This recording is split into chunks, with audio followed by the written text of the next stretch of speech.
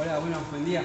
Eh, del Hospital Centenario eh, traemos el saludo, digamos, eh, a esta nueva Junta Interna y la, propuesta es seguir trabajando en conjunto, eh, digamos, para llevar todas las, todas las, luchas a una victoria, digamos, para que siempre sea en beneficio de los compañeros y también de la comunidad, porque nosotros no solo salimos en defensa del salario, como lo decimos, sino también recuperar la salud pública para todos, porque nosotros queremos eso, ¿sí?